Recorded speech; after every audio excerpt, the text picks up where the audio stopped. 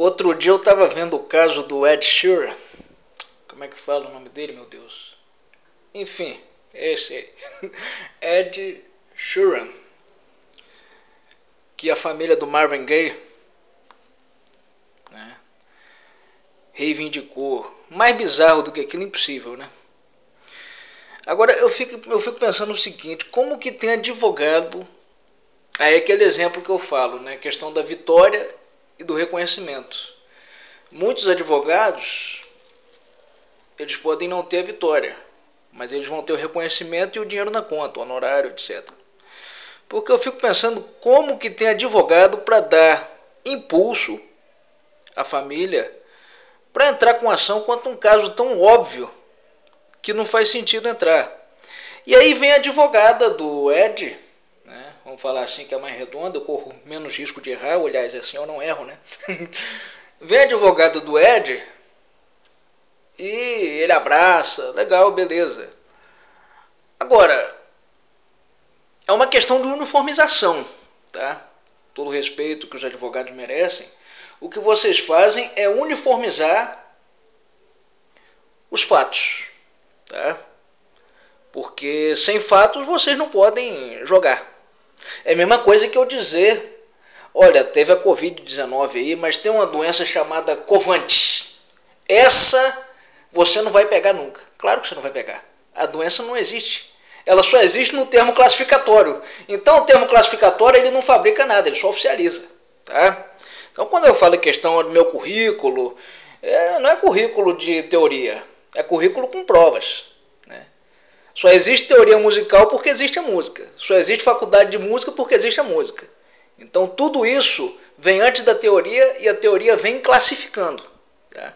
Essa questão de alfabeto, por exemplo. Essa entre duas vogais tem som de Z? Não tem. Essa entre duas vogais não tem som. A letra não tem som nenhum. E quando eu coloco uma outra letra trazendo um som prevalecente, eu apenas quero desencadear o déficit de atenção do leitor ou da pessoa que tem muito mais outras coisas para fazer. Eu, por exemplo, eu trituro a língua portuguesa com força quando eu estou fazendo projeto. Eu não quero saber o que, que vem de PIB, CM, CN, C2S, CDIR. Eu não quero saber disso, eu tenho mais o que fazer. Isso aí não tem, não tem lógica nenhuma, só tem ética. Tá? Eu e essa mania de falar, o vídeo vai para 3 minutos, de novo. Né? E aí eu falei esses dias, nesse último vídeo que eu fiz, que se a professora Erli Cabral entrar, juridicamente a causa está ganha para o Roberto. Falei, vírgula, porque eu tenho as provas. Porque se a parada fosse tão fácil assim, Roberto não ofereceria anos atrás, tá? Quem disse isso foi o advogado dela na época, Neemias, não sei se ainda é esse advogado. O Roberto Carlos ofereceu 150 mil para que ela não processasse, tá? para poder uma espécie de cala-boca. Como ele ofereceu também para o Sebastião Braga. E depois eu fiquei sabendo que o Sebastião Braga é, receberia uma espécie de 330 mil, 200 mil do Roberto e 120 mil do Erasmo. E aí o Sebastião Braga teve que pagar 300 mil de multa pro Roberto, né? Então nem sei se ele. Agora já a família do Sebastião, acho que um dos sobrinhos dele que conversou comigo falou que, que o Roberto ainda devia, etc. E eu vi em matéria antiga que o Roberto deixou 3 milhões, tá? Isso há mais de 20 anos atrás, por aí. 3 milhões e 800 no Itaú. Tá numa matéria do Terra. Eu tenho essa matéria guardada comigo. E eu lembro, tá? Tem uma lembrança muito nítida do Erasmo Carlos no Jô Soares. Esse vídeo acho que você não vai achar no Globoplay. Foi um vídeo que eu vi na foi um, um, episódio que eu vi na televisão e eu gravei isso. Apesar de que fazem muitos anos, são, são 20 anos ou mais até. Que o Erasmo Carlos agradeceu o Roberto, porque o Roberto tinha assumido a parada sozinho, entendeu? No Jô Soares. E o Jô Soares ainda falou o seguinte: estranho um cara tão é, copiado ser acusado de plágio. O Jô Soares falou isso. Aí o Jô Soares perguntou na época, tá? É, quem quiser achar que eu estou mentindo, eu tenho minha consciência tranquila diante de Deus, eu assisti isso no Jô. Tá? É porque foi uma coisa que virou meme lá em casa, uma semana de meme nós fizemos, na época que nem existia meme. O Jô Soares perguntou o que que, qual foi o plágio? Aí o Erasmo Carlos falou assim, bicho, eles fizeram uma confusão que até hoje eu não sei o que eles fizeram. Aí a gente lá em casa falou, ih, foi plágio. E eu tinha até esquecido que antes disso o Sebastião Braga tinha aparecido no TV Fama dizendo que o plágio era do arranjo. Aí na época que estava assistindo era eu e minha irmã, a gente estava na casa da nossa avó. E a gente falou, pô, playback, mas playback, o arranjo. Arranjo não pode. Ele falou, a única vez que esse cara apareceu na televisão, acho. É. E aí, vem essa matéria do Globo aqui, dizendo o seguinte: posso deixar o link, não vou filmar porque essa câmera é realmente, né? enfim, para eu ficar lendo e segurando e lendo também. Essa matéria é muito frágil, tá? Se depender dessa tropa de elite, amigo Roberto Carlos, você vai perder de novo mesmo ganhando. No caso do Sebastião Braga, você podia ganhar até porque foi provado aí que a música tecnicamente é sua. Loucura de amor é sua. Não só aquela parte que eu mostrei parecida, né, que é legítima sua com o ano passado e o Careta, aquele fragmento. Mas loucura de amor é um negócio tão bizarro, gente, que os acordes, lá, lá, lá, lá, os acordes, olha, os brilham mais que as, brilham mais que as estrelas.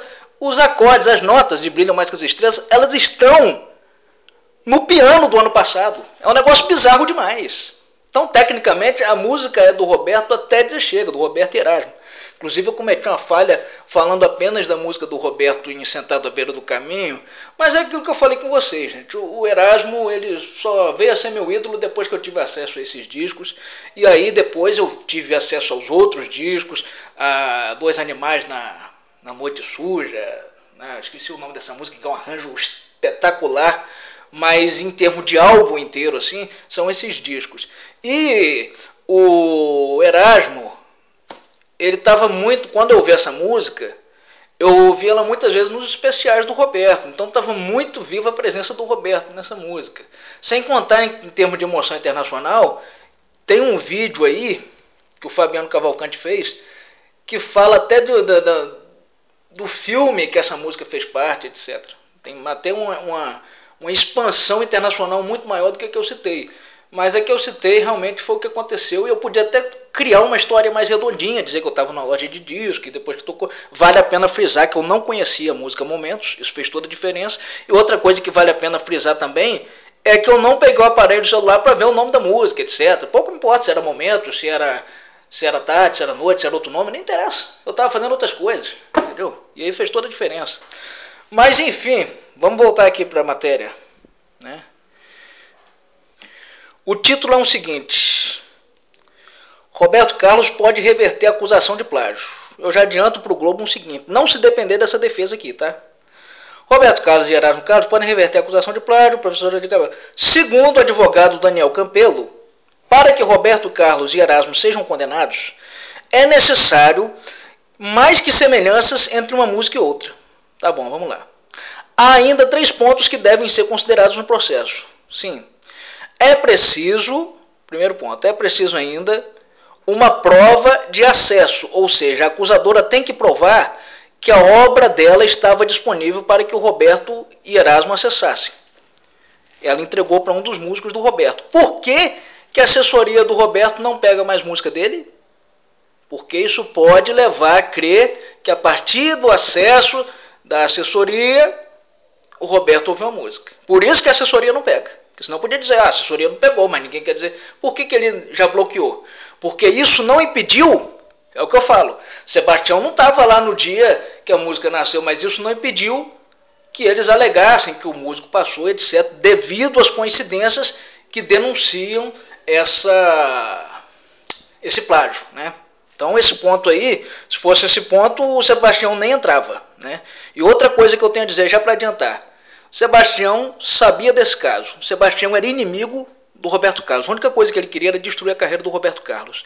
Se a professora não tivesse provas o bastante, ele falaria: ó, não entra, pelo menos é o que dá a imaginar. Não entra porque você vai perder. E se perder, é moral para o Roberto. E eu quero é destruir a carreira dele. Tanto que eu estou querendo fazer um livro intitulado Rei do Plágio: Emoções de Detalhe na Queda de um Mito Então, se ela fosse, ele já tinha orientado para ela não entrar. Tá? Aí tá, é preciso ainda uma prova de acesso, ou seja, a acusadora tem que provar que a obra dela estava disponível. Tá, já foi. Além disso, tem a má-fé, a má-fé, vírgula. Então o plagiador tem que ter tido vantagem em cometer esse ato e anterioridade. Vantagem. Tá bom. O plagiado tem que provar que a obra de, dele é anterior. Tá? Isso ela já provou.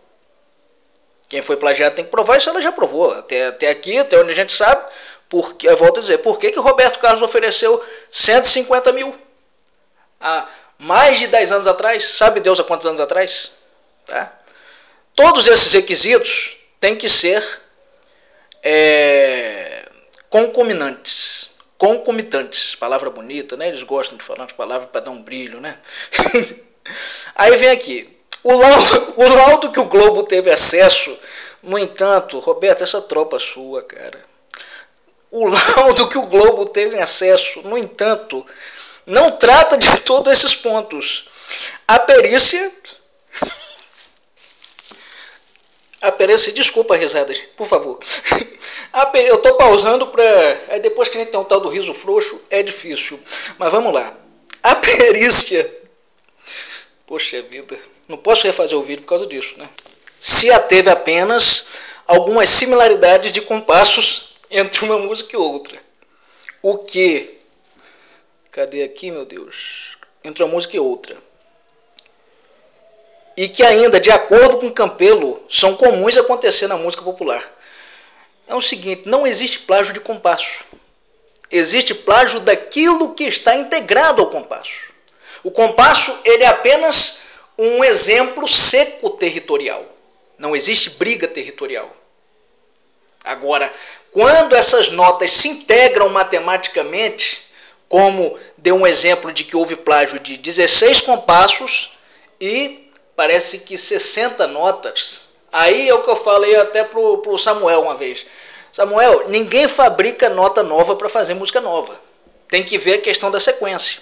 Então, por que, que eu falei aquele detalhe do refrão de traumas, do vídeo que eu até lacrei e achei até bom o Google não repartilhar mesmo esse vídeo. Foi bom, Google, obrigado por não repartilhar, porque ali eu falei coisas que poderiam dar dor de cabeça para o Roberto.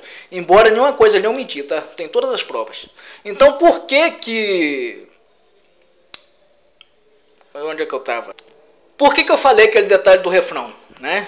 Que traumas você pode encontrar também é, em outra música da discografia da composição, do cancioneiro, melhor dizendo, do Roberto Hierardo. Aí cancioneiro você onde você quiser, você pode ir em Agnaldo de Monte, pode vasculhar aí até, mas você encontra. Por quê? Porque é uma cópia, não, porque está dentro da linha e as notas elas podem se alterarem para que o refrão se encaixe igual ali naqueles compassos. Então, quando. Por que, que eu mostrei a questão da música Mulheres e da música. Oh meu Deus, o nome da música do, do Carlos Cola. É, as mesmas coisas porque ali dentro daqueles compassos, em determinado momento as notas se integram, acusando assim então, é, comprovando assim então legalmente, tecnicamente a dissimulação. O advogado do Toninho, um advogado super experiente, cara. Um advogado com mais de 30 anos de experiência no assunto. Ele não ia mandar uma intimação para dele à toa. E nem o Misael, que é um cara experiente, filho do Rio do Hora, ia contratar um advogado qualquer, rapaz. Entendeu? Então vieram provas ali, até um, um, um maestro ele estava cantando, ó, oh, gente, essas notas. Sim, maestro, mas é que as notas estavam dentro do mesmo tempo. E aí poderia alegar dissimulação por conta disso aí. Por conta, dentro desse campo matemático, as notas estão inclusas. Foi o que eu mostrei ali, no caso da música do Carlos Cola e do Toninho. Tá? E aí, vamos supor que esse Daniel seja um advogado oficial do Roberto Carlos. Porque aqui ele está advogando em favor do Roberto. Tá? Ele desmentiu o perito contratado pela justiça. Já começa aí. E o perito não falou isso. O perito falou exatamente que muda-se. Aí é que o compasso que ele está falando não está integrado ao campo rítmico. Até porque o, o perito falou que que o ritmo foi alterado. E as notas mudou ali o tom, mas é, é, dá para ver que houve né, a cópia. Exatamente por conta dessas mudanças serem encaradas como dissimulação e não como fato criativo. Aí é que está o problema, né, gente? O erro também, a falha brutal na lei em favor dos compositores brasileiros é um negócio que é gritante, por isso que eu venho protestando aqui há anos. Tá? Aí, nessa questão de compasso, por exemplo, o que, que foi que a defesa do Roberto fez na época de Sebastião Braga? Segundo eu vi numa matéria de um blog um tempo atrás. Tá até no Google aí, se vocês quiserem dar um Google aí. É, a defesa pegou 26 músicas para defender a legitimidade do Roberto. Entre essas 26, ela pegou Festa de Arromba, ela pegou Lady Laura, ela pegou até Proibido Fumar, né, que a gente sabe que, enfim. enfim, pegou 26 músicas. Sabe Deus se ela pegou, é, é, dentre essas 26, o ano passado e uma outra também que tem legitimidade estrutural. No vídeo eu falo que? O careta tem legitimidade melódica e estrutural, que você pode também ter legitimidade estrutural. Tem uma outra música do Roberto que ela tem uma legitimidade estrutural, onde eu posso colocar tranquilamente a música do Sebastião Braga. Provavelmente é essa música que eles devem ter usado, até porque essa música é anterior ao ano passado. Então isso aí pode ser encarado como uma prova. Agora, o que ninguém fez e o que eu fiz até pouco tempo foi pegar a música do Sebastião e colocar dentro da música do Roberto ali. Provando que quem plagiou foi o Sebastião. Ali o Roberto era ganho de causa tranquilo. Tá? Provando, ó, você me plagiou. Então, quando você tem uma prova concreta, o que, que você faz? Quer processar, filho? Está aqui. Prepara o honorário.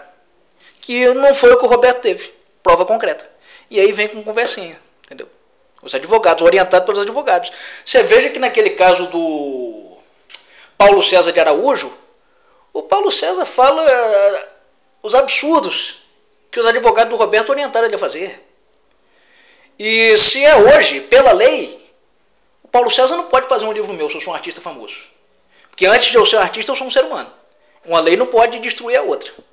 Então eu tenho direito à privacidade como todo e qualquer ser humano. E outra coisa, público não é só o artista, não. O público é o padeiro, é a pessoa que é famosa na minha rua, no meu bairro. Ela é pública. Aí por isso ela não pode ter direito à privacidade. Exemplo, tem um palhaço, patati e patatá. Naquele momento que eles estão ali, eles são palhaços. Depois que tira, eles têm a vida deles. Cada um tem a vida deles. Então no momento que o Roberto está no palco, ele é o artista. Depois dali, ele tem a vida dele.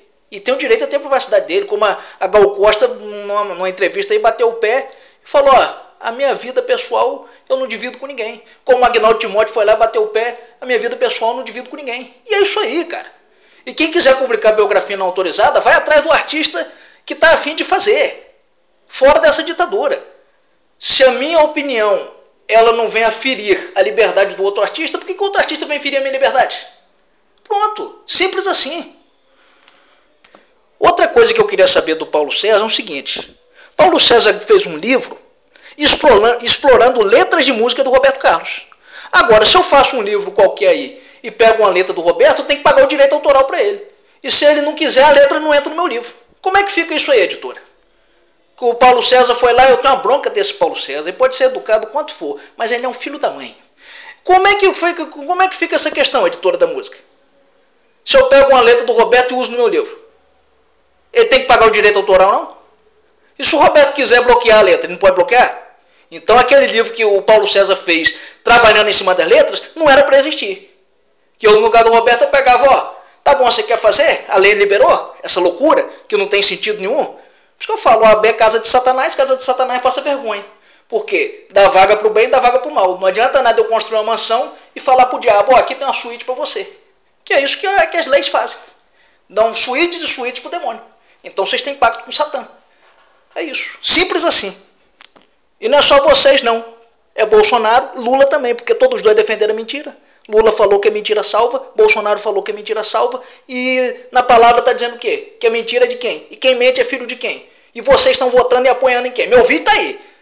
Fracasso de acesso, não like nada, mas vocês estão de mãos dadas com quem? Tanto do lado A quanto do lado B. Por que, que eu votei no Lula? Faria campanha para o Lula de novo, com gosto. Porque com todas as falhas do Lula, Lula ele pode ter uma, inclina, uma inclinação para o mal. Agora, Bolsonaro, além da inclinação para o mal, ele tem admiração pela cultura do ódio, pela cultura da morte e pela cultura da justiça com sangue, que é aquela coisa caduca que já está ultrapassada que Jesus exterminou. Por isso, tá? com todos os defeitos, eu votaria no Lula de novo. Vai ter Lula e Bolsonaro novo? Voto no Lula de novo. Porque eu acho que com Lula, pelo menos, eu posso conversar. E, ter uma... e outra coisa, Bolsonaro uma vez falou Lula, é, com Alckmin, protege o Brasil para o Brasil não entrar no comunismo. Então Bolsonaro recorreu a Alckmin. E se Bolsonaro ganhasse, eu ia recorrer a quem? Se ele contratou outro militar para ser vice. Então o Lula falou o seguinte: quem não quiser votar em mim, vote no Alckmin. Pois é, Lula. Eu votei com a esperança também do Alckmin trazer esse equilíbrio. Porque você realmente, o negócio está com. Eu mesmo sem ver nada que eu não vejo nada, eu sei que é tudo mentira. Tudo encenação, vou assistir por quê? Eu sei que a fome é encenação, que tudo é encenação, porque o dinheiro é número e aquilo que não se desgasta não se esgota. É só questão de distribuir e configurar. Só isso. Então tudo é encenação. Tudo é encenação em nome de quê? Em nome das leis. Leis. Por que, que o, as pessoas eram escravas no tempo de Jesus? E por que, que Jesus foi morto? Leis. Leis. Aí a galera quer falar da lei, que quem está embaixo da lei está debaixo de maldição. E as maldições que estão aí? Que vocês, em nome do respeito, baixam a cabeça, esperando o anticristo. Cada um que faça a sua parte, rapaz. É isso. E eu gostaria que esse vídeo chegasse até a professora para mostrar à professora que eu estou sendo imparcial. Então, se eu estou alertando o Roberto, é que eu sei as partes tá, que estão prejudicando ele e que podem soar a seu favor. Se eu não fosse imparcial, eu só ia tá, criticar. Mas não, mostrei aqui. E isso prova que eu falei né, o porquê, isso só reafirma a certeza do que eu falei quanto à questão de Roberto poder virar o jogo, porque eu tenho provas para isso. Embora ele vá adorar não precisar de mim, tenho certeza, tá? Porque eu sou um anônimo, porque eu estou fora da lista do, do, das energias, das vibes. Ele tem os toques dele, eu, eu respeito, eu também tive esses esses troços desse toque. Todos nós que temos toque, nós somos inclinados ao mal de certa forma, tá? Não quer dizer que nós estejamos com mal, mas temos a inclinação sim, porque esse negócio de toque é coisa do capeta, é uma coisa que a religião desencadeia na gente, tá? Eu tenho porque eu sou, sou filho, fui filho da religião de certa forma, então tive essas heranças, etc. Então ele, ele vai adorar não precisar de mim, claro, evidente. E pode até não precisar mesmo, tem as provas aí e tchau. Mas eu tenho aqui, coisa que eu jamais faria na questão de Adélio de mostrar as provas, é deixar o corpo comer. E telefonar para a Sony e falar, ó, tá aqui, querem? E provavelmente iriam até deixar perder, preferiram até deixar perder do que me dar um crédito, um reconhecimento, porque o universo me persegue. O universo me persegue desde que eu vim para cá para Terra. E o universo prova, tá? Esse forjar universal prova a revelação maligna, porque comigo está a voz da igualdade. Com a revelação maligna não, campo esotérico. Ah, hoje o vento vai soprar a favor do signo tal, tá? E o outro signo que se dane, que para um vencer, para um ganhar, outro tem que perder. Ah, hoje vai ter emprego e o outro que se dane, tá? É a mesma coisa, a questão da, da união racial, da não desigualdade racial. Não desigualdade racial, então tem que haver igualdade para todos, para brancos e negros, tá? Se eu sou negro, eu não posso chegar para um branco e falar, olha, daqui esse prato de comida que eu tenho mais direito que você. E nem um branco também pode chegar pro negro e falar daqui as pratos de comida que eu tenho mais direito que você. Não, o direito tem que ser para todos. Porra. Na hora dessa a gente só um palavrão de desabafo, porque realmente nessa, nessa balela política, tá? É por isso que eu tenho orgulho do prisômetro. É por isso que eu tenho orgulho do condomínio prisional. É por isso que eu tenho orgulho do sistema de placar popular. Por quê? porque ensina os políticos a saírem da encenação legalista. Ah, vou criar lei para isso e boto eles para trabalhar na produtividade. E eu mesmo apresento a produtividade que podem haver parcerias. Não essa coisa idiota que está aí. Você quer coisa mais idiota do que um Bolsonaro chegar e falar: ó, oh, Bolsa Família não existe mais, agora é Auxílio Brasil de no mínimo 600 reais. Então a mesma coisa que eu chegar aqui e falar: olha, esse CD aqui tava a 30, tava a 20 reais. Tá? Mas agora esse CD virou outro, porque eu mudei a posição da capa e ele está 80 reais. então não existe isso. Então é, é, é uma necessidade, e eles estão tão, todos eles no mundo inteiro, presidentes, estão tão empanturrados de glória, de glória, de glória e de devoção humana, que eles não conseguem fazer nada a não ser alguma coisinha e depois comemorar. Qualquer coisa é um pretexto para comemorar. Igual o Bolsonaro, fazer a reunião para depois marcar outra reunião. O negócio dele era o jet ski e curtir a vida, rapaz. E ele não tá errado não. Tá errado não, mas é, tem todos eles têm muito mais a curtir se abraçarem a graça. Agora todo mundo foge da graça, todo mundo subestima a graça, todo mundo menospreza a graça. Ah, não, é fácil demais. Que é fácil demais, ninguém acredita. Ninguém fala, ah, se tiver chuva, então não tem chuva. Ninguém fala isso, né? Isso é uma frase idiota. Agora as pessoas falam, se for de graça, não tem graça. Então você está subestimando a graça, imbecil. Subestimando a graça, você está subestimando Jesus. Que é a facilidade e que é a quebra de protocolos moralistas falidos tá? e sanguinários. Glória a Jesus ressuscitado. Glória a Jesus ressuscitado que promove o inimigo da maçonaria.